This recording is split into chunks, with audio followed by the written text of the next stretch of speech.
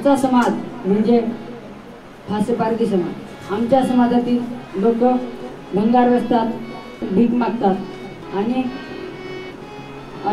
अशी इतर कामे करतात.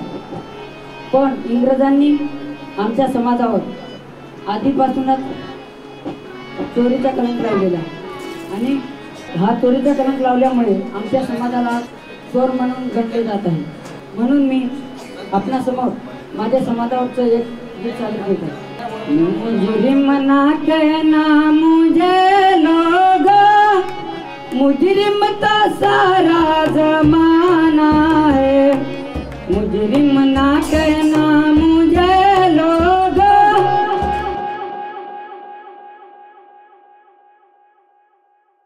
पूर्वी ब्रिटिशांच्या काळामध्ये यांचं एक सेटलमेंट राहायचं. सेटलमेंट म्हणजे कसं एक मोठं विशाल मैदान असायचं.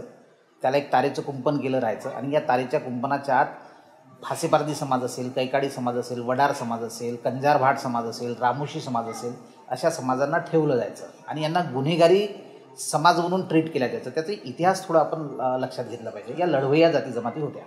म्हणजे शिवाजी महाराजाच्या काळांमध्ये शिवाजी महाराजाच्या दिमतीला या सगळ्या जाती जमाती होत्या. या सगळ्या जाती जमाती परागंदा झाल्या. तर हा सगळा समाज सैरभर झाल्यानंतर हा जंगलामध्ये वास्तव्याला राहायला लागला. ब्रिटिशांच्या फौजा जेव्हा भारतामध्ये आल्या आणि या जंगाच्या माध्यमातून या प्रांतामध्ये कब्जा करण्यासाठी जेव्हा आल्या ही जमात जी लढवई मुळातच होती या ब्रिटिशांचा प्रतिकार करायला लागला. त्यामुळे ब्रिटिशांनी मुळात त्यांना गुन्हेगारी जमात म्हणून ट्रीट केलं आणि कायदाच बनवून टाकला की या जन्मताच गुन्हेगारी जमात. या सेटलमेंटमध्ये अशा जमातींना ठेवायला लागले. आणि सेटलमेंटमध्ये ठेवलं तर सेटलमेंटच्या तारेच्या कुंपणाच्या पलीकडे जेव्हा यांना न्यायचं बाहेर जर न्यायचं असेल काम करायला मजुरी करायला कष्टाची कामं करायला यांच्याकडून कडून घ्या- ब्रिटिश लोक करून घ्यायचे. त्यावेळेस यांना पोलिसांच्या त्यावेळेच्या ब्रिटिशांच्या जे सैन्य सैन्य होतं त्यांच्या सुरक्षेखाली यांना बाहेर नेलं जायचं आणि पुन्हा त्या सेटलमेंटमध्ये ठेवलं जायचं. आणि सकाळ दुपार संध्याकाळ तीन वेळा त्यांना पोलिसांच्या त्या छावण्यामध्ये हजेरी लावायला जावं लागायचं. इतकं ते म्हणजे खुला कारागृह ज्याला म्हणतो आपण. सेटलमेंट म्हणजे खुला कारागृह. एकतीस ऑगस्ट एकोणीसशे एक्कावन्नमध्ये गुन्हेगार जमाती कायदा रद्द करण्यात आला. कायदा रद्द झाला पण तो कायदा रद्द केवळ पुस्तकामध्ये रद्द झाला परंतु प्रत्यक्षात समाजामध्ये हा कायदा रद्द झालेला नाही.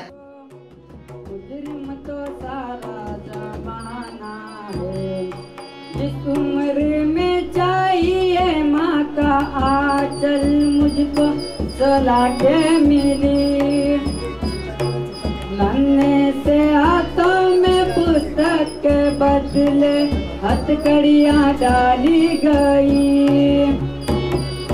बचपन ही जब कैद खाने में बीता, जवानी का फिर क्या ठिकाना है? मुजरिम ना कहना मुझे लोगो मुजरिम तो सारा जमाना है। आता आजंती या बेड्यावर चाललेलो आहे, नेर तालुक्यामधलं बेडा आहे. आणि यवतमाळ जिल्हा. जिल्ह्यामध्ये आणि महाराष्ट्रामध्ये फाशेपारधी समाजाची फार दयनीय अवस्था आहे. म्हणजे जिथे पाणी नाही जिथे वीज नाही जिथे फाशेपारधी समाजाला जगण्यासाठी पेसारा म्हणून आहे अशा ठिकाणी आपण चाल चाललेलो आहे आता. आणि तिथे चौपन्न कुटुंब राहतात. पहिले ते जंगलामध्ये राहत होते. चार पाच किलोमीटर अंतरावर राहत होते. आणि ते मूलभूत सुविधा वगैरे पोचत नव्हत्या. म्हणून ते गावाच्या लगत आलेले आहे. पापों की बस्ती में कैसे रहेगा बनके कोई देवता? जीवन के संग्राम में सब मुनासिब, क्या है भला, क्या बुरा? इंसान लेकिन कभी ना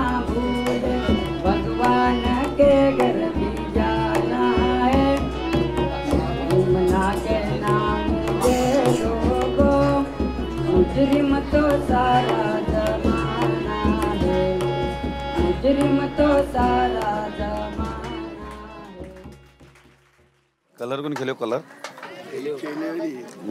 जास्त केले आवची जावची केले आणि दारू कोण पिते? दारू तर बंदच आपल्याला दारू पिणत होतो थोडी थोडी दारू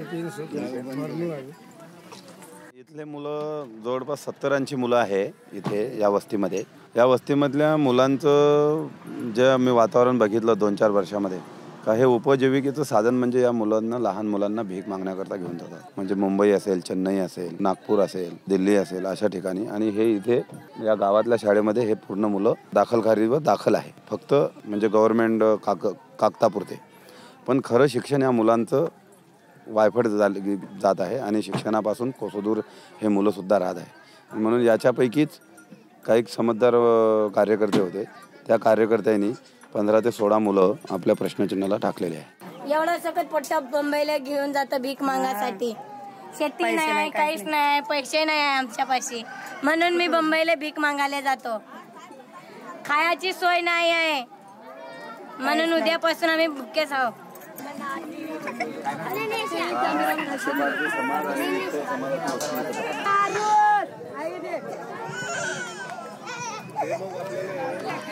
त्यावेळेस आम्ही पानिपतच्या युद्धामध्ये अनेक लोक सक्रिय होतो भाषा भारतीय समाज सुद्धा. पण काही कारणास्तव विखुरले त्या पानिपतच्या युद्धामध्ये. म्हणून हा समाज जंगलामध्येच गेला. जंगलामध्ये गेल्यानंतर कोणी कंटॅक्टमध्ये बी नाही आले हे आणि ते बी कंटॅक्टमध्ये नाही आले लोकांच्या. म्हणून हे पूर्ण जंगल आणि शिकार करणे आणि पोट भरणे हाच व्यवसाय सुरू झाला. आम्हाला कोणी नाही. पाच सहा वर्ष झाले इथं. सर्व्याले घर भेटले सर्व्याले आमची यादी भेटली. आमची यादी आता तिथे आहे ना. मग आम्हाला कामून असे ठेवता बाबा. एवढं असून आम्हाला काहीच लाभ नाही देऊन राहिले. भेटले आमचा भटकी समाज आहे. आमचा तो पहिले लाभ द्यायला पाहिजे. आमची आमसुद्धा चालली गेली पण हे लेकरं कसे राहील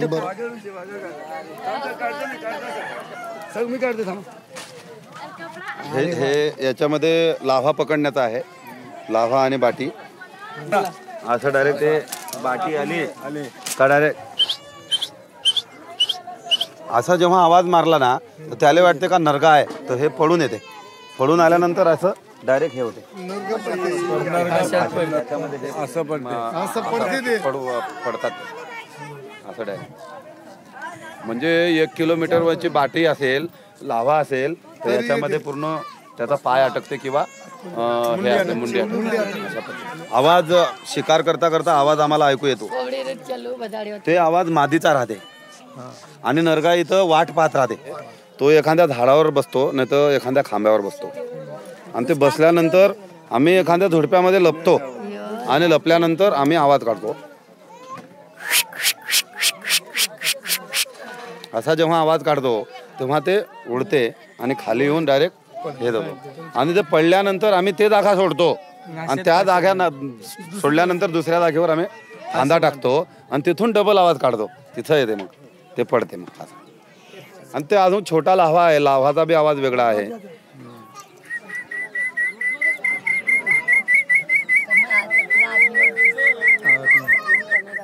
असा सुद्धा लावा आहे खाली. आता दुसरा आवाज असा आहे.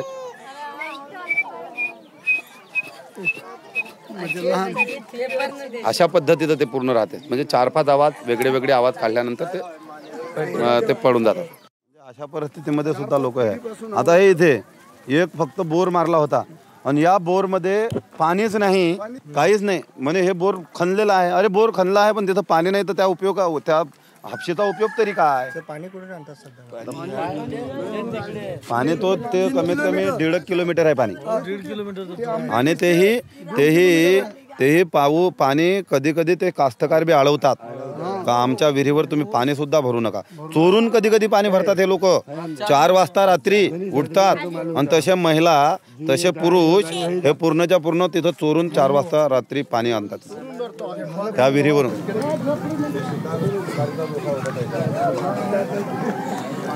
आहे बाप्पा काय करू? पाणी नाही काही नाही. सताला. पापड गत एक पेपर करून आहे तिकडे. मोदनी मोदनी. हेच हे सरच्या तिथंच आहे. त्याच्या शाळेमध्ये होता त्यावरच पाठवलं. नवरा लई सण मेला. पैजण पिला.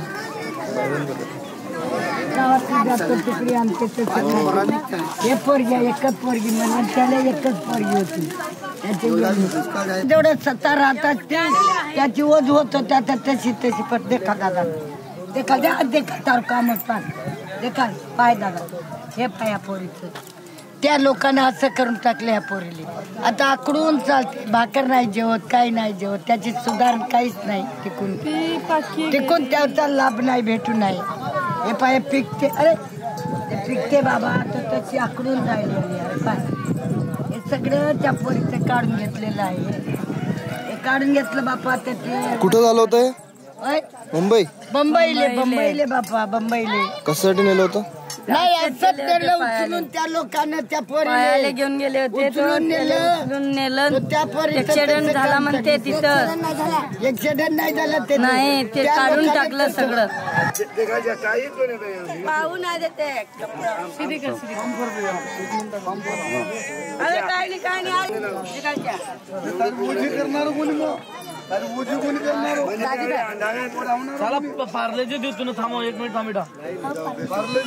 नाही.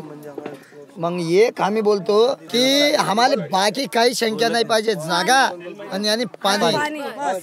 ह्या त्रास जो आमचा चालला गेला ना तो या देवाले काय तुम्हाला नमस्कार मानू सोळा सतरा वर्षाचा आहे.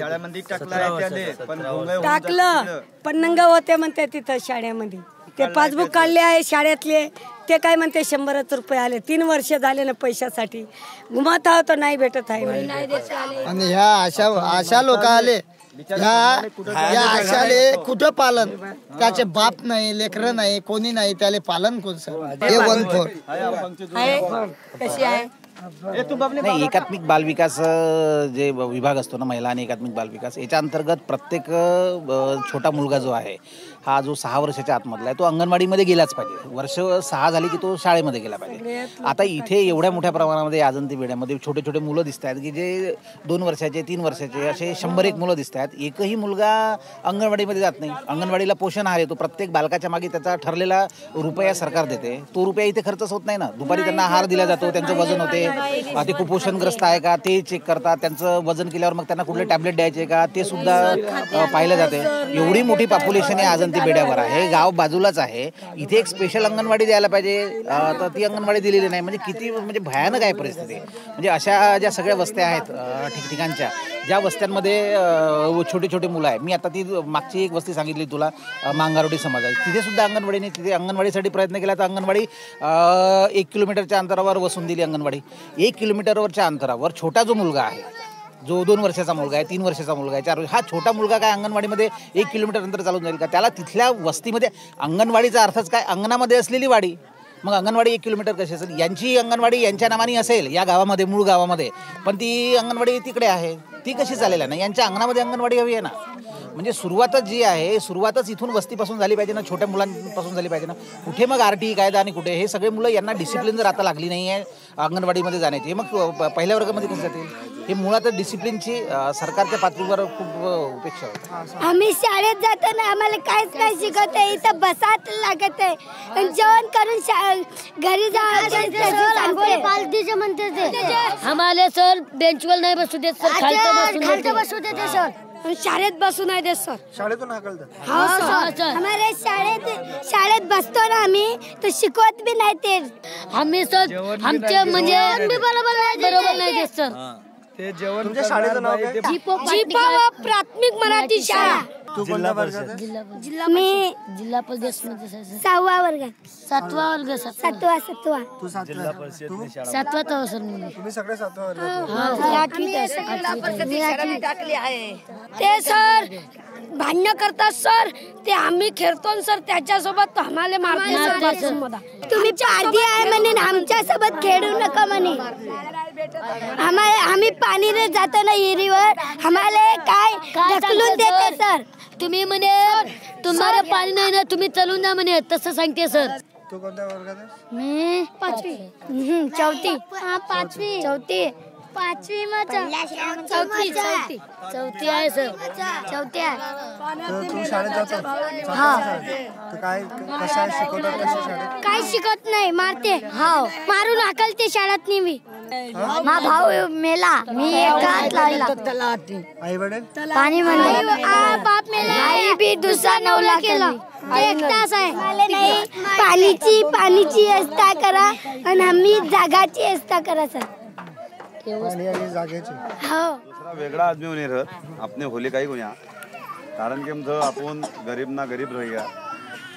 गरीब किम रह गरीब हवानु बी कारण आपणा माहितीच करीन. जोपर्यंत आपण शाळाમાં शिकणारा कोणी लडकावनं शाळाમાં घालणारा कोणी तोपर्यंत आपण विकास होणार कोणी. म्हणून तुम्हाला सांगतो का जोपर्यंत आपण आपण एकत्र राहणार नाही आपल्याला दिशाभूल करणारे लोक अनेक मिळणार पण मार्गदर्शन करणारे लोक मिळणार नाही. आणि म्हणून या पोरांना या लहान बच्चांना शाळामध्ये शिकवा. कारण हे लहान बच्चे जोपर्यंत शिकणार नाही तोपर्यंत तुम्ही टिकणार नाही.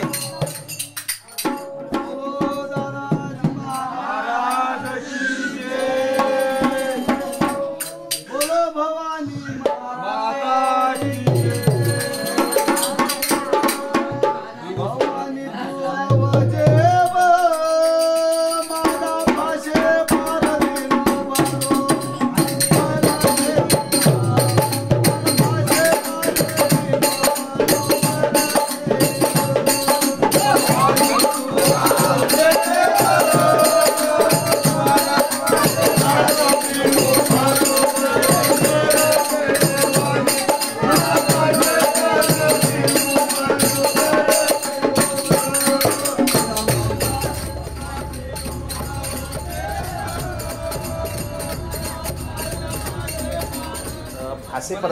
असो किंवा आदिवासींमधल्या ज्या बॅकवर्ड कम्युनिटीज आहेत याच्यासोबतच ज्या भटक्या विमुक्ती कम्युनिटीज आहेत यांची लोकसंख्या देशामध्ये सरकारी आकडेवारीनुसार अठरा कोटीच्या वर आहे. तब्बल अठरा कोटी हा समुदाय आहे. म्हणजे सहा ऑस्ट्रेलिया देश होतील एवढा हा भारत आहे. म्हणजे आपल्या इंडियामध्ये हा वेगळा भटक्या विमुक्तांचा आदिवासींचा भारत आहे. या लोकांचे खूप प्रश्न आहे. म्हणजे जेवणाचे प्रश्न आहे शिक्षणाचे तर आहेत आहेतच. यांच्यापैकी अठरा कोटीपैकी एक टक्काही लोक शिकलेले नाही आहे या अठरा कोटी लोकसंख्येकडे भारत सरकारचं प्रचंड दुर्लक्ष आहे. मतींनी ही जी प्रश्नचिन्ह आश्रमशाळा सुरू केलेली आहे या अठरा कोटीपैकी एक शाळा आहे. असे वेगवेगळे मॉडेल वेगवेगळ्या ठिकाणी जर निर्माण सरकारला करता आले सरकारने जर प्रश्नचिन्ह आश्रमशाळेला मान्यता दिली तर मला असं वाटतं की अशा प्रकारचे मॉडेल मतीन भोसलेसारखे जे कार्यकर्ते आहेत स्वतः मतीनही त्याच्या सगळ्या समाजामध्ये अशा वेगवेगळ्या ठिकाणी शाळा सुरू करू शकतो. आणि स्वातंत्र्य मिळाल्यानंतरही जो एक मोठा वर्ग उपेक्षित आहे दुर्लक्षित आहे वंचित आहे पीडित आहे हा वर्ग खऱ्या अर्थाने स्वातंत्र्याचा सूर्य जो आहे त्या सूर्याची किरणं अनुभवू शकतो असं मला वाटतं काय गेल्या वर्षी माझ्या ताईचं लग्न करायचं होतं. तेव्हा माझ्या पण लग्नाची गोष्ट निघाली होती. तुझं पण लग्न करायचं आहे. तेव्हा मी खूप मला खूप राग आला होता की माझी वय पण नाही झाली पण माझं लग्न का बरं करतात? आणि मला खूप जिद्द आहे की मी खूप शिकलीच पाहिजे. आणि माझ्या समाजामधून मी पहिली सिंगर बनलीच पाहिजे असं माझा खूप इच्छा आहे. आपल्या समाजात कोणीच अधिकारी वगैरे बनलेलं नाही. तर आपण आपण तरी एक जिल्हाधिकारी म्हणून बनायचं आणि आपल्या समाजातले जे काही अशिक्षित बेरोजगार आणि भीक मागणारे लोक आहेत त्यांच्या सुद्धा आपल्याला परिस्थिती बदलायची आहे. जेणेकरून मी जर अधिकारी बनलो तर बाकीचे माझ्या समाजातले लोक तरी प्रे प्रेरणा घेऊन आणखी शिक्षण घेण्यासाठी उत्सुक होतील. या विचाराने मी माझं ध्येय ठरवलं आहे की जिल्हाधिकारी व्हायचं. हे माझं ध्येय आहे. आणि मला माझं ध्येय आहे सिंगर बनायचं. कारण की माझा आवाज छान आहे. सगळ्या माझा माझ्या गावातल्या मुलाले सगळ्या गावाले असं वाटतं की तुझा आवाज छान आहे. तू मोठी सिंगर व्हायला पाहिजे ना असं वाटतं. आनंदीत पाठवल्यानंतर मला जाणीव होतं की नाही बा कॉलेज पण करायचं आहे आणि हार्मोनियम पकवाज पकवाज शिकवायचे असं. तर मला समाजसुधारक व्हायचं आहे. तेच माध्यमातून मुलांना मार्गदर्शन करू शकणे माझ्याकडून जी मदत होईल ती मग सरांना हातभार देईल म्हणजे समोरचे ध्येय आहे आर्मीमध्ये जायचं. देशासाठी काहीतरी हो. तुला मोठं पोलीस. पोलीस. कोणाला जोडायचं? कोण कोणाला जोडायचं? पोलीस कोणाला मारते? जे भीक मागते दारू दारू पाडते आणि जे चोऱ्या करते त्याला मारते. मित्र तू काही पण बनवू शकतो. तुला माहिती आहे का? काही पण बनवू शकतो म्हणजे एक आपण कोणताही काम करू शकतो असं हे नाही. तो ऑफिसातले लोक पाहिले का? काय करतात? बसून राहतात. काहीतरी लिहितात. आपल्या मनात नाही. जे लागली ते. जे लागली ते. आता बोलला बरोबर. आपल्या मनात नाही. जे लागली. आपण अभ्यास करायचा. नोकरी लागली तर लागू द्यायची. नाही लागली. पण अभ्यास चालू ठेवायचा. हो. दोन तीन तास अभ्यास करायचा मस्त. जेवण खाऊन करून. राहायचं. दोन तीन तास शाळेची की शाळेच्या नंतरचे? शाळेत संध्याकाळी बी सकाळी बी शाळा शाळा चुकल्यावर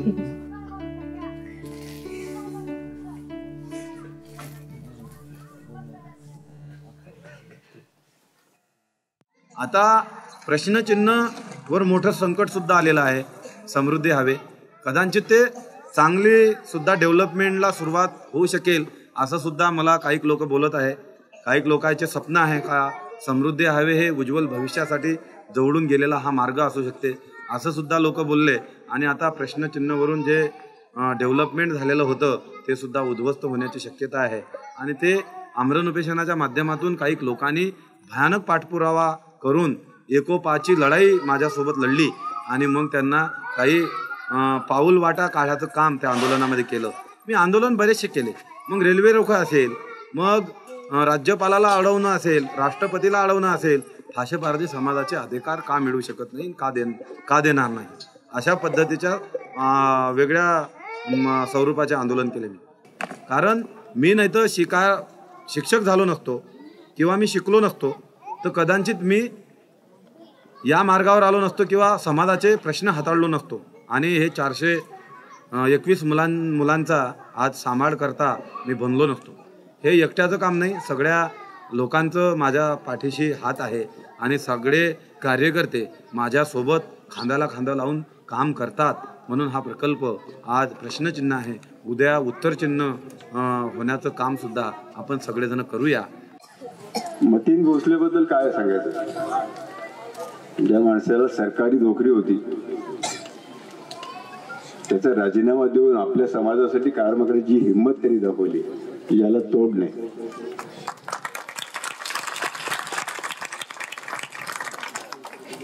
किती संघर्ष केला असेल किती अपमान सहन केला. पण या सगळ्याचं फळ त्याला आता हळूहळू मिळायला लागलं आहे. अजूनही हे चालवणं सोपं नाही आहे कलेक्टर साहेब म्हणाले अनुदान मिळालं तरी सुद्धा सोपं नसतं. त्यासाठी जोडधंदे लागतात लोकांचं मदत लागतं.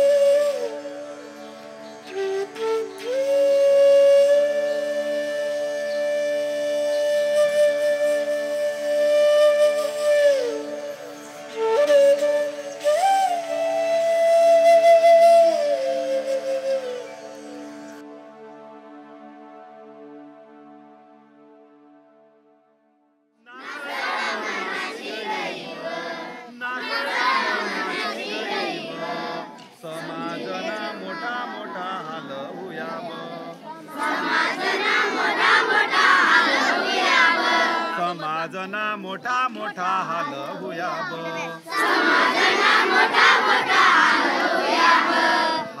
तरी समाधान जागो आवो कोणी ब. समजिले जो मारा नाना मोठा हुओ तुम ब. समजिले जो मारा भाई ब. नासळला म नाशी गई ब. समजिले जो मारा भाई ब. नासळला म नाशी गई ब. नासळला म नाशी गई ब. जंगल ना माही दन काट्याब जंगल ना माही दन काट्याब. समजिले जो मारा नाना मोठा हुओ तुम ब समजिले जो मारा भाई ब नासळला म नाशी गई ब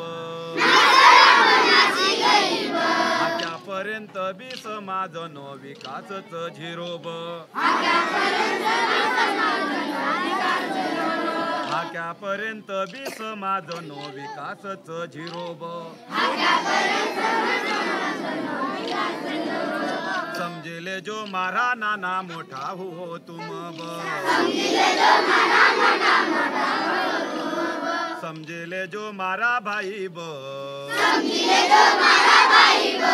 लासला मनासी गई बो।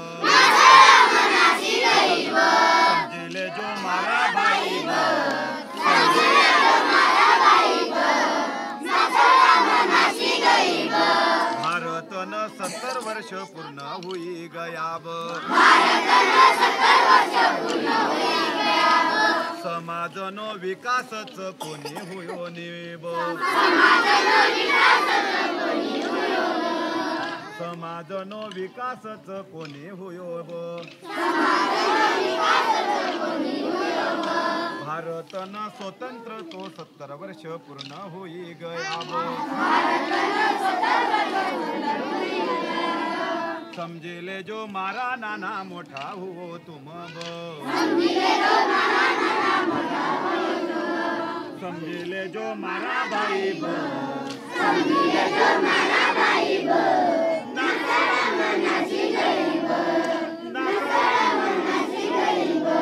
जंगल ना माही दन काट्या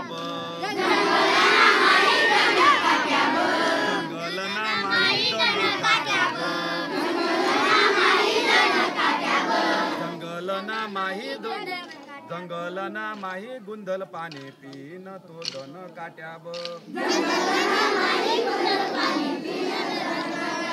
समजेले जो मारा भाई ब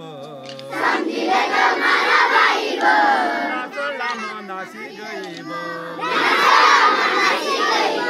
समजिले जो मारा भाई ब नाचला